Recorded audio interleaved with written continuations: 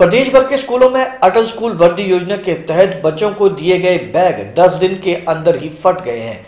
कई स्कूलों में तो बैग की सिलाई का एक सप्ताह के भीतर उखड़ने से इस सारी योजना पर प्रश्न चिन्ह लग रहे हैं। हमीरपुर जिला के कई स्कूलों में योजना के तहत गत माह ही बच्चों को बैग दिए गए थे, जिसके कई जगह पर सिलाई फटने के मामले सामने आए हैं। शिक्षा विभाग की माने तो विभाग भी शिक्षा निदेशालय शिमला पर सारी ज़िम्मेदारी की बात कहकर अपना पल्ला झाड़ रहा है।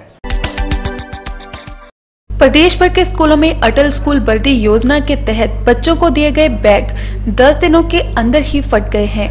कई स्कूलों में तो बैग की सिलाई एक सप्ताह के भीतर ही उधरने से अटल स्कूल वर्दी योजना पर प्रश्न चिन्ह लग रहे हैं। हमीरपुर जिला के कई स्कूलों में योजना के तहत गतमा दिए गए बैग की सिलाई के साथ कई जगहों से फटने का मामला सामने आया है। वहीं शिक्षा विभाग की मानी तो विभाग भी शिक्षा निदेशालय शिमला पर सारी ज़िम्मेदारी की बात कहकर पल्ला झाड़ने में लगा हुआ है। आपको बता दें कि प्रदेश भर के सभी सरकारी स्कूलों में नैनीहालों को अटल स्कूल वर्दी योजना के तहत फ्री में वर्दी और स्कूल बैग दिए गए, लेकिन घटिया किस्म के बैग के बांटे जाने के चलते अब बैग कुछ ही दिनों में फटने लगे हैं। लंबे समय से वर्दी और बैग के लिए इंतज़ार करने के बाद भी घटिया बैग मिलने पर अभिभावकों ने भी गहरा रोष प्रकट किया है। स्कूल नैनीहालों ने बताया कि कुछ दिनों पहले ही स्कूल बैग दिए गए थे और बैग की सिलाई उधड़ रही है तो कई जगह से बैग फट भी चुका है। उन्होंने बताया कि बैग फटने के बाद अब दूसरे बैग में किताबें लानी पड़ रही हैं। कैसे फटा आपका बैग फिर? फट गया?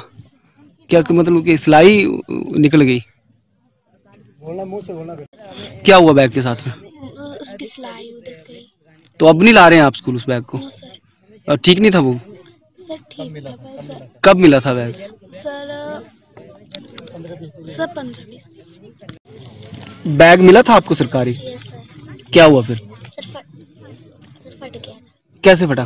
सर इसकी सिलाई सर वो निकल गई थी। कितने दिन पहले मिला था आपको बैग? सर दस बीस दिन। पहले शिक्षा उपनिदेशक कार्यालय में अटल भर्ती योजना के इंचार्ज राजेश हमदर्द ने बताया कि जिला स्तर पर इस तरह की शिकायतों का निवारण नहीं किया जाता है, जबकि इसकी शिकायत शिमला निदेशालय को भी भेजी जाती है। वहीं हमीरपुर में वर्दी या बैग के खराब होने की शिकायत आई है, उसे शिमला भेजा गया है। उन्होंने कहा कि अब निदेशालय ही निर्णय लेगा कि बैग सप्लाई करने वाली कंपनी को नोटिस कर दोबारा बैग भेजने को कहा जाता है या फिर पेनल्टी डाली जाती है।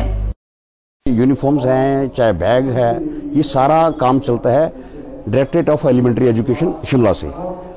वहाँ पे हर डिस्ट्रिक्ट के जितने भी एजुकेशनल ब्लॉक्स हैं, वहाँ से जो कंसर्न बीआरसीज हैं, अपने ब्लॉक के जितने भी स्कूलों की स्ट्रेंथ होगी, वो ऊपर फॉरवर्ड करते हैं। अकॉर्डिंगली वहाँ पे डायरेक्टरेट ऑफ़ एलिमेंट्री एजुकेशन साथ में डायरेक्टरेट ऑफ़ हायर एजुकेशन मिलकर एक टेंडरिंग प्रोसेस होती है, उसमें कंसर्न कंपनीज़ को आवंटन किया जाता है। कि किस डिस्ट्रिक्ट में कितनी कितनी वर्दियाँ यूनिफॉर्म्स या बैग जो पहुँचाने हैं।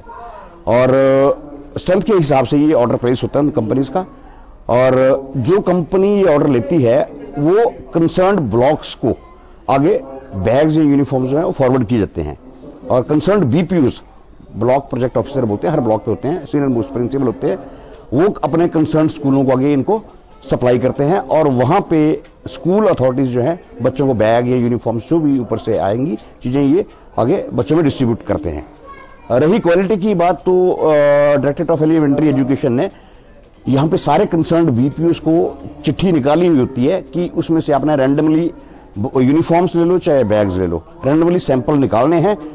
और इससे पहले जब सप्लाई कंसर्न बीपीयूज ऑफ़िस में पहुँचती है, उससे पहले सैंपल्स जिसके ऊपर कंपनी के साथ करार होता है कि यही यही बैग या वर्दी आप सप्लाई करेंगे, वो sample pieces concern BOPO office में पहुँच चुके होते हैं।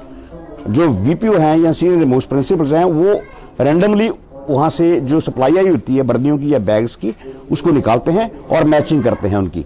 अगर आई हुई सप्लाई और सैंपल्स जो इशू हो रखे होते हैं कि इसके साथ मिलान करना है, अगर उसमें कोई त्रुटि या कमी पाई जाती है तो उनको ये डायरेक्शन हैं कि डायरेक्टर ऑफ़ एलिमेंट्री एजुकेशन और खाद्य आपूर्ति विभाग शिमला में।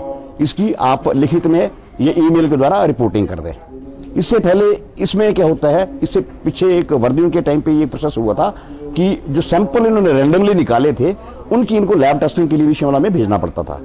तो वहाँ से ओके होता है, आगे तभी रिपोर्ट्स कंसर्न ऑफ़िस में पहुँचती है कि ठीक है, अब आप इन बैग्स को या वर्दियों को डिस्ट्रीब्यूट कर सकते हैं। तो उसके बाद ये प्रोसेस शुरू होता है। तो उसमें हमारे डिप्टेटर ऑफ़िस का या इस टाइप का कोई इन्वॉल्वमेंट नहीं होती है। ऊपर से जिस टाइप के होगा ये कंसर्न बीपीएस को चली जाती है और वहाँ से आगे फर्दर डिस्ट्रीब्यूशन होती है। अगर कोई कंप्लेन आई हो बच्चों की अगर आती है मान लो हाँ। तो क्या रहेगा आगे विभाग की तरफ़ से? अब ये ऊपर हायर अथॉरिटीज ही डिसाइड करेंगी कि अगर कहीं पे कुछ गड़बड़ पाई जाती है तो हो सकता है उस कंपनी का अ, उस कंपनी को दोबारा से रीडायरेक्ट करें कि वहाँ पे सप्लाई जो है दोबारा से भेजी जाए। या मे भी पेनल्टी भी इम्पोज की जा सकती है उस कंपनी के ऊपर।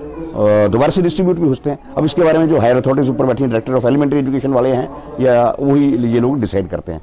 एक्चुअली होता क्या है कि अगर किसी बैग में या किसी वर्दी में कोई त्रुटि पाई जाती है, कमी पाई जाती है तो जहाँ से वो डिस्ट्रीब्यूशन हुई है, वो उनके ध्यान में लाया जाता है। उस कंसर्न प्रिंसिपल के, वो कंसर्न प्रिंसिपल जो है जो कंसर्न बीपीयूज हैं, उनको वो कंप्लेंट करते हैं। और कंसर्न बीपीयूज फिर खाद्य आपूर्ति विभाग वालों को कि ऐसे मिलान हुआ था और आपने हमें ओके किया लैब टेस्टिंग रिपोर्ट उसके बाद ये कमियाँ पाई जा रही हैं, लोगों में कंप्लेंट आ रही है।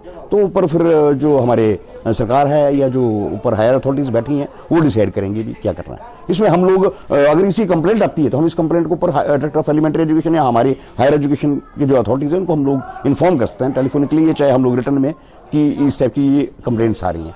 फिर हायर अथॉरिटीज ये डिसाइड करेंगी कि क्या करना है इसका।